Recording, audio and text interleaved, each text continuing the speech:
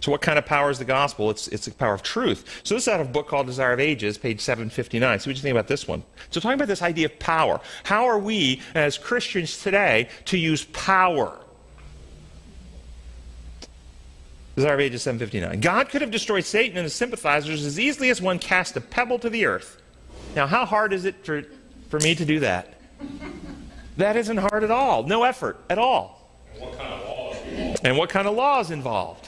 And and that's ultimately a beautiful analogy because how will the wicked die in the end? Because God holds on to them or he lets them go. And he's the source of all life. And so as he lets go, they fall into oblivion.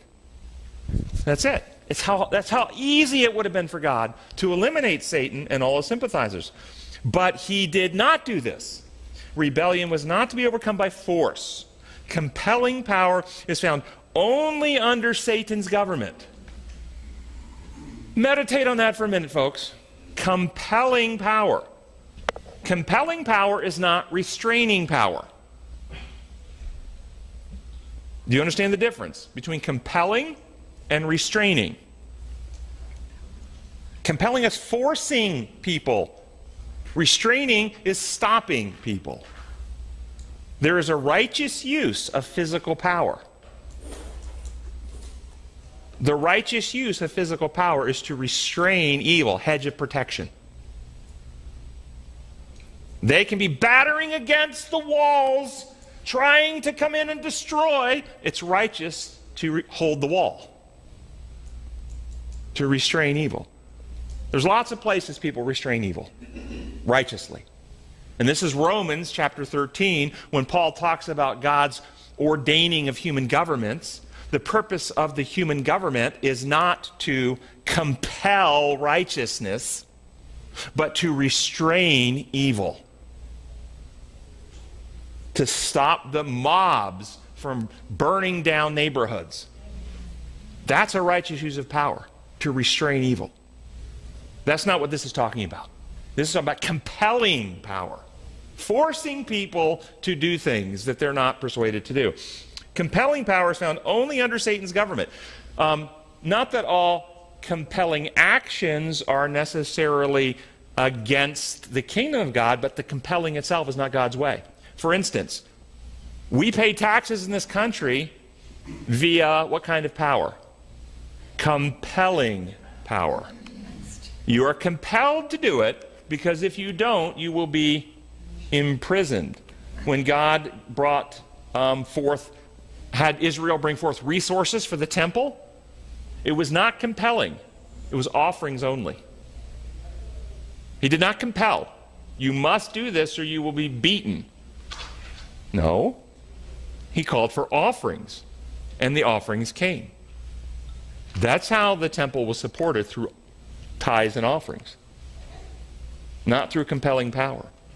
Compelling power is found only under Satan's government. The Lord's principles are not of this order. His authority rests upon goodness, mercy, and love. And the presentation of these principles is the means. Our means are to do what? Present the principles of goodness, mercy, and love. God's government is moral. Now, now here comes the power. And truth and love are to be the prevailing power. Truth and love prevail. Truth and love prevail. Can you ever get more love by threatening to kill people who don't love you? Can you get more love? Ever, ever. Never. You can't get more love by having a mob and burning down a building. You will never get more love doing that. You'll never get more love going on rampages and, and assaulting people. You cannot get more love doing that.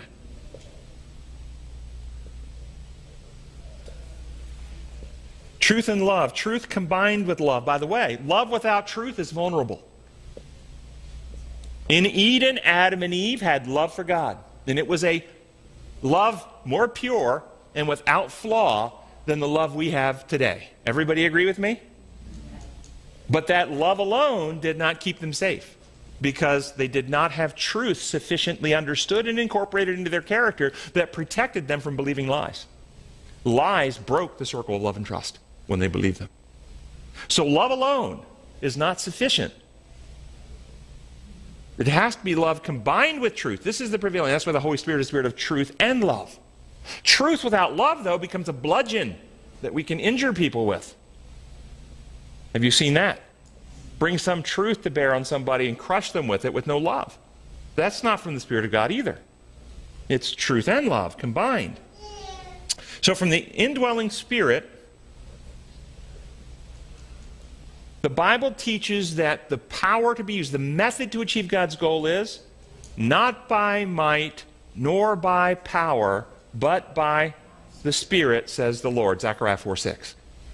We can never achieve God's goal Remember what God wants. He wants your love. He wants your trust. He wants your loyalty. He wants your friendship.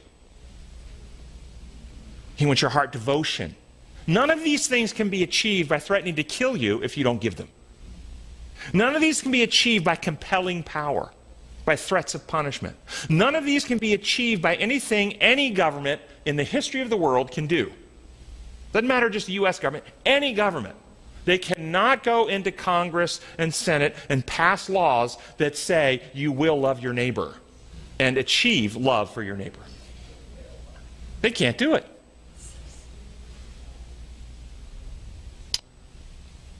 So why why doesn't compelling power work? Let me let me put it to you.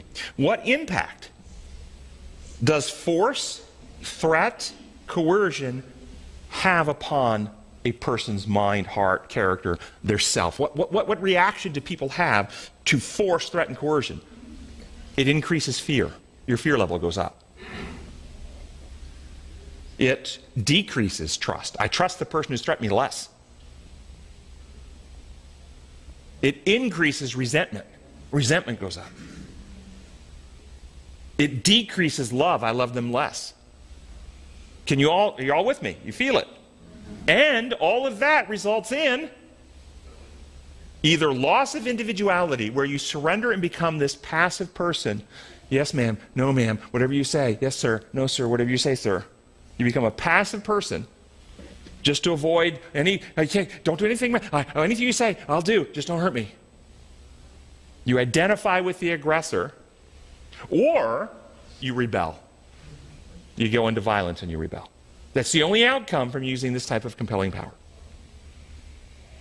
What impact does the power of truth and love presented with freedom, liberty, the principles of God, have upon a person? Genuine freedom. This is why the constitutional protections of liberties are so important. You understand, individuality cannot grow without freedom. Love cannot grow without freedom.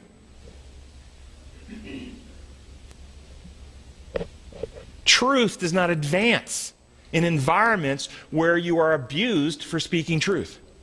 It shuts down people's pursuit of truth for fear.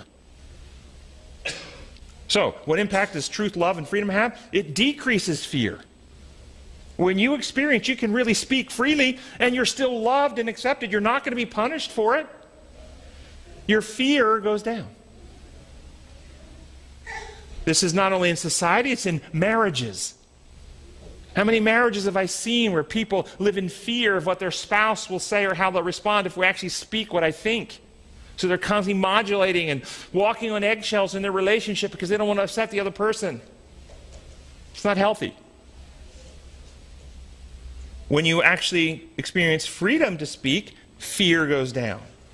When you actually experience truth and love and freedom, truth, I'm loved, I'm free, trust goes up. I trust these people. And when wrongs occur in that environment, we are much more readily to forgive the wrong, which eradicates resentment. And we genuinely have growth in love in these environments. We love more. Which all of this together leads to restoration of a person's individuality, the development of their self governance, the increase of their confidence, and their growing up into the full stature of Jesus Christ. Understand why Satan is so insistent that the church teach that God's kingdom runs on the methods of the world coercion, force, threat. It obstructs completely his healing plan. Remember 2 Corinthians 10 3 through 5. For though we live in the world, we don't wage wars the world does. The weapons we use are not worldly, they have divine power to demolish strongholds. We demolish every argument, pretension that sets itself up against the knowledge of God and take captive every thought. That war is a battle for our mind. My blog this week, if you haven't read it, it's on learning to discern. And I start out by informing people we're in a war for your mind. Your mind is under assault in our society today. Do you feel it? Do you feel the pressure?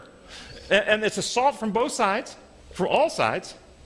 And do you realize that the vast majority of people assaulting your mind have no interest in you learning to reason and think? They have no interest in you coming to your own conclusion. They want to propagandize you, they want to indoctrinate you. It's a war for your mind. In the blog this week, I go through and provide some tools that you can use that can prevent your mind from being indoctrinated and propagandized and give you the ability to discern and think for yourself. So, what weapons do we use? We use the weapons of truth, love, and wield them in freedom. Is it possible that people could think they're promoting the gospel, but actually promoting a false gospel?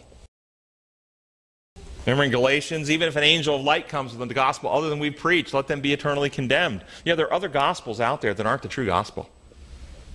What happens if we accept a different version of the gospel than the true gospel? There are design laws involved here, folks.